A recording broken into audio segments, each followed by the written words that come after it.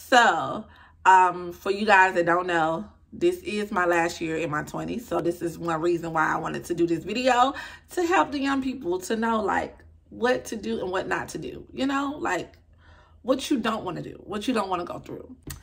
Hey YouTube family and welcome back to my another video. I would say to my channel, another video, but welcome, welcome, welcome back. So for you guys who don't know me, I am Don Marie. That's me. Yeah, Don Marie, that's me.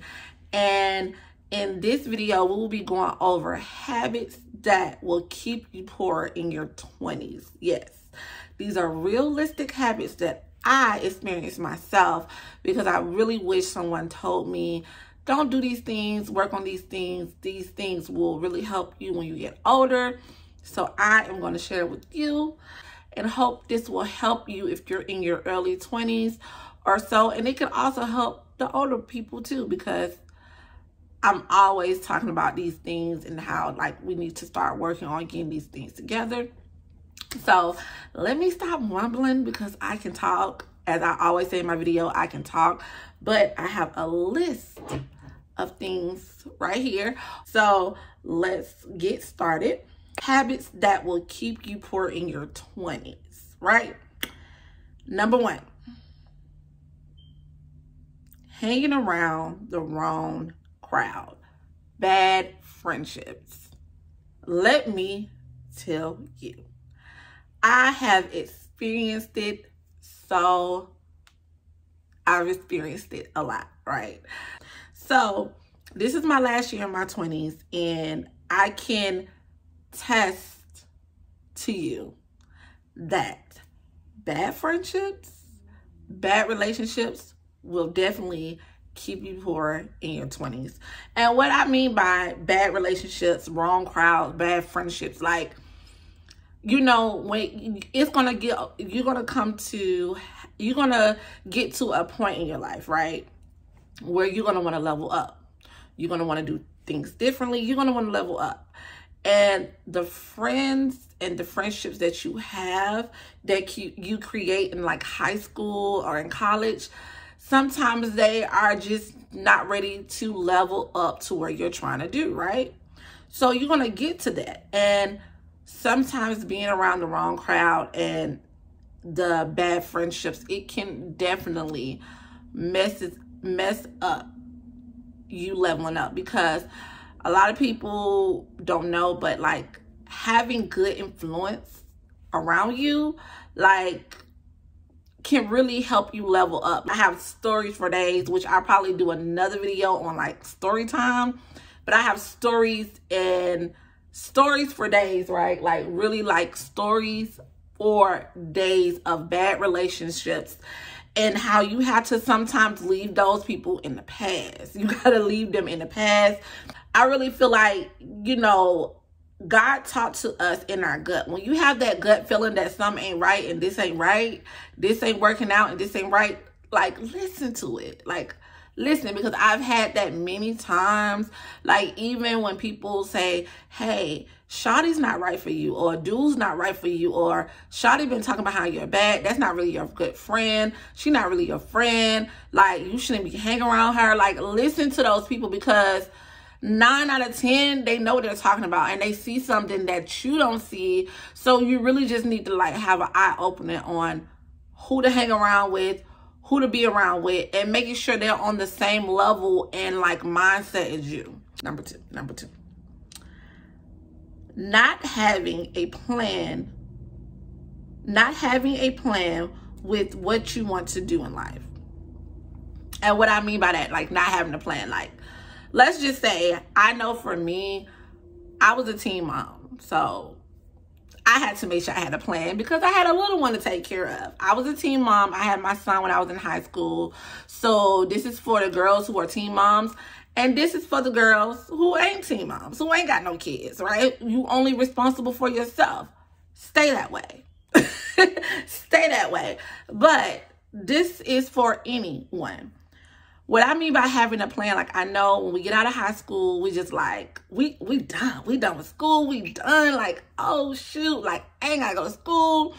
And then, you know, some people go to college. if you don't go to college, that's fine. That's so, that's fine. But please, like, try to plan something. Try to plan something, y'all. Like, something. It's pretty much giving something. I need y'all to plan something. Understand? Going to school for four years is a lot. it's a lot of money. Student loans is out the woo-ha. So having a plan A, a plan B, and a plan C, get in the trade. If you don't want to go to school full time, at least go get a trade. And you can get a trade in six months. You can get a trade in a year. Get have something. If you want to become an entrepreneur, start investing. Start investing in yourself. Start investing in whatever the craft you want to do. If you want to um anything, like start figuring out something just start with something, you know? And like, for instance, say, say if you don't know, like say you say, Don, I don't know what I want to do once you get out of high school. Like, I don't know. Help me, Don. Don, help me. I don't know. Well, I can definitely give you guys a person that I watch on a daily basis. His name is Tony Gaskins. If you guys do not know Tony, I better follow Tony because he will put you in your place.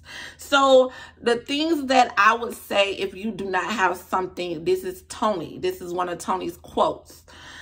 Work on your three B's. Now, if you don't know Tony, and you're probably like, Don, what is three B's?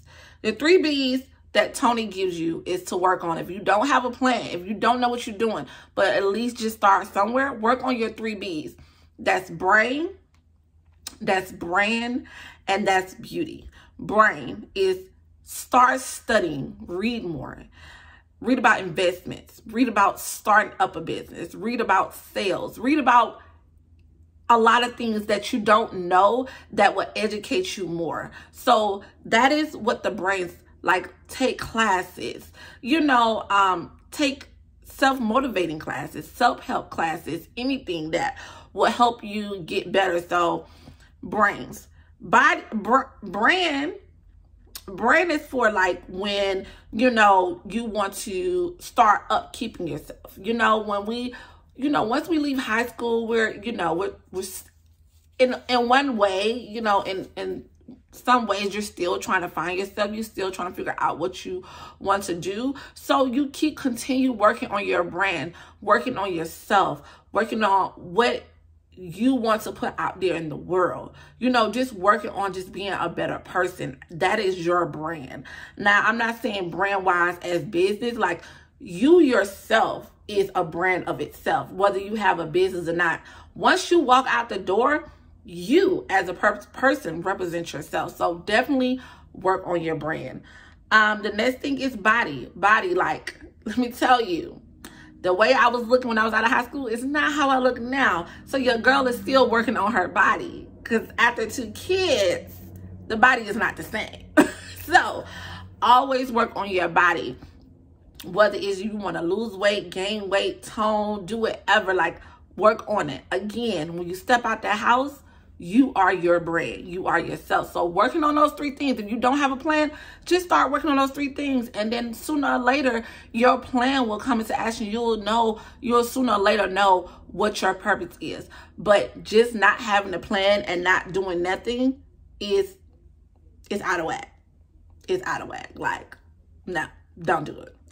So number three, number three, not being financially responsible. like, yo, what we not gonna do in our 20s is not learn how to be financially responsible. Now, for the people who parents did not tell them how to be financially responsible, I am so sorry. But guess what? Your girl Don is here to show y'all to teach y'all how to be financially responsible because guess what? I was there. I wasn't taught how to be financially responsible. I had to learn by error, by trials and tribulations. so I had a lot of errors in my life in my early 20s and mid 20s. Um, I really didn't start taking my financial serious until I was like about 25 on my 25th birthday. That's when I was like, you know what? I need to start saving. I need to start working on my credit. I need to start budgeting. So I really didn't start taking it serious until I was about 25 and your girl is about to be 29 now. So for all the girls who are in high school or about to graduate or in college, you know, you know, in in college, you got a head start. Start working on it. And what I mean by being financially responsible, start working on your credit. Don't put no card, don't put no guy card in the, in your name. Don't put no um don't put nothing in your name for nobody, especially if they don't have no job, especially if they don't have good credit yourself themselves. Like that's the type of financial responsibility because your girl did that before. Don't do it. Okay. So don't put no car, no car for no man in your name if it ain't your husband. Start working on your credit. Start, if you're going to get credit cards, make sure you're financially responsible on spending the credit cards. Making sure you pay that balance off in full. Making sure you paying the monthly. Don't be late on no bills. Set up that payment for student loans if you got to. Right now, we don't have to make payments right now, but when the time comes, set it up. Don't let it go. Don't let it, don't have no late fees. Don't miss no payments. Set it up auto. I know a lot of people don't like auto payment set up, but that's the best thing you can do. Set it up auto because we're humans. We we make mistakes, but having something that will that you know is out there that will save you, set up those auto payments. Because I'm telling you, sis, bro, if you set up these auto payments, it's gonna save your life. I'm telling you. Set up those auto payments. Budgeting. I know we like to spend. I know I was spending like crazy in my 20s. I was just thinking like all the money I had. I was spending like crazy. I was going on trips. I was going to parties. I was doing this. And I'm not saying you don't have to have fun.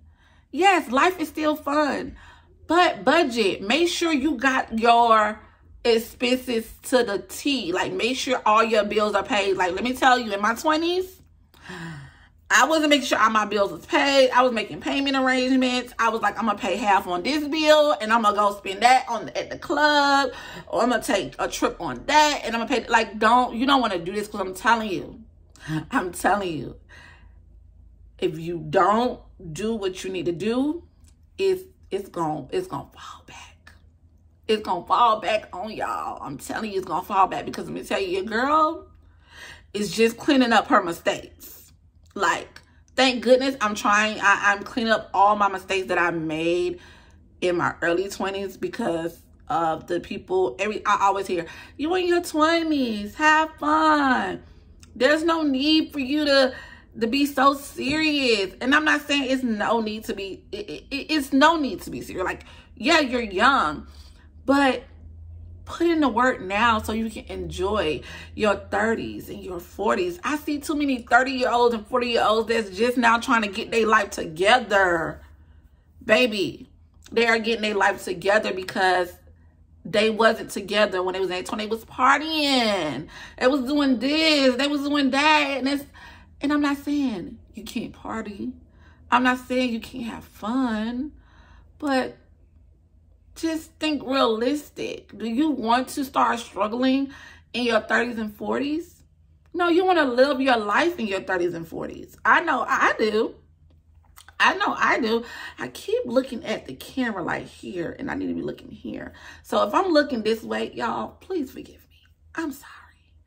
But yes, like literally, we need to be really focusing on the goal. And the goal is to, yes, have fun, live life, be free, but also be responsible, be financially responsible.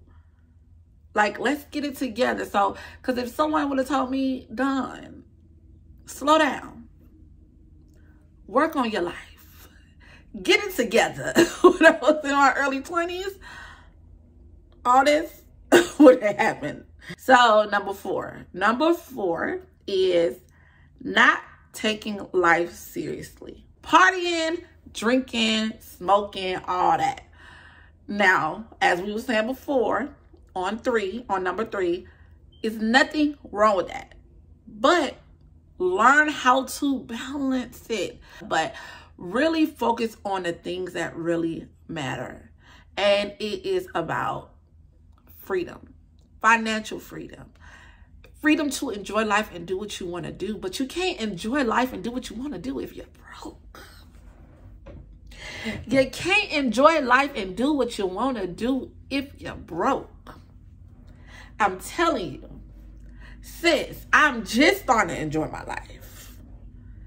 Like, I'm telling you, you don't want to do this to yourself. Like, y'all, y'all will really enjoy y'all 30s and 40s. Really, really enjoy it. So that's number four. Told y'all I can talk. number five. Number five. Now, this could have been, this should have been number one. This should have been number one of all, but number five. Number five. The habit, habits that will make you poor in your 20s and you just must avoid is not having a relationship with God. You need to make sure you have a relationship with God. Now, I'm not trying to force religion on you. Let me tell you. Uh, your girl is not trying to force religion on nobody. But having a relationship with God will help you tremendously. Uh, when I tell you I um I was a person that grew up in church. My mom made sure we went to go to church every Sunday. Yes. When I got older, I was like, uh, I don't I didn't really really like the church that I grew up in, you know?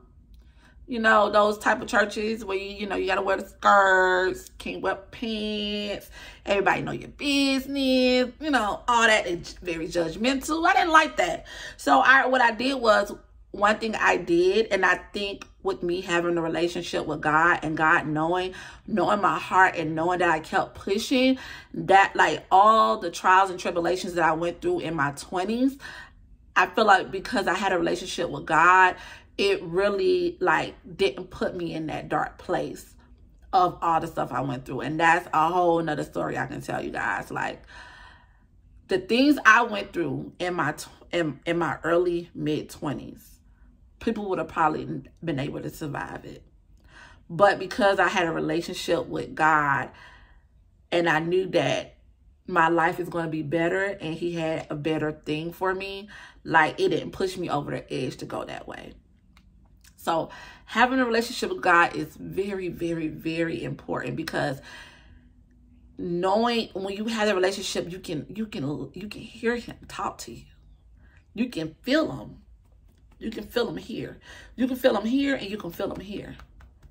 You know, you can feel him here. Let him, he'll, he gonna tell you the way you need to move.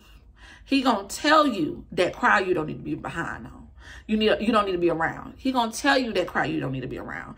He gonna tell you your passion, what you need to focus on, what you need to put your all into. He's gonna tell you not to put that car, that, that do car in your name. He gonna tell you all the things that you need to do when you have a relationship with him. And I'm telling you, I'm not trying to preach today, but I'm telling you guys, it's so important to have a have a relationship with him. It's so important. I kid you not. That's that's just a whole nother story. I kid you not.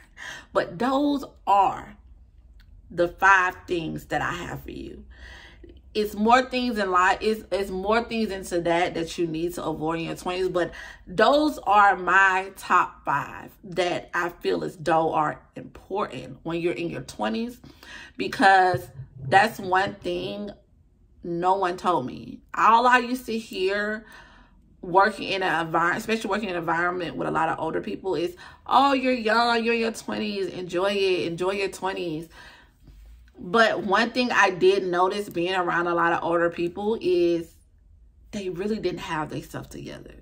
And I'm not saying you would, you, it's a time when you're going to have your stuff together, but they did not have their stuff together. And I, and that's one thing I told myself, you know, that's why I started taking things serious when I was 25 Because that was one thing I told myself.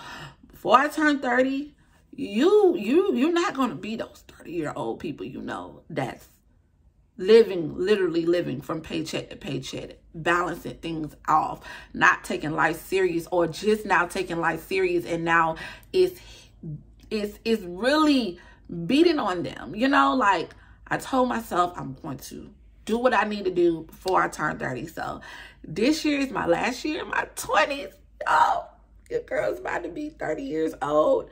Am I nervous? Yes, I am. Because I, I just want the best for myself.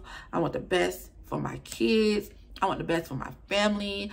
I, I want to show God that, you know, the blessings that he gave me is, is I, I, I'm not taking it for granted. The things he showed me, um the things he pulled me out of i'm not taking it for granted. Like i'm really i'm really like so thankful and blessed. So i really want to come on here and give you guys these tips and and, and give you and, and just empower you like and just uplift you guys and and let y'all know that it's gonna be good if you just really just focus. Focus focus focus and focus so anyway, I'm going to go ahead, be done with this video. Thank you for watching my video. Make sure you subscribe. Make sure you like. And make sure you go ahead and click that notification button because I'm going to be uploading some more videos pretty soon. And I don't want you guys to miss out on no videos that I have. And I will catch you guys later. Thank you.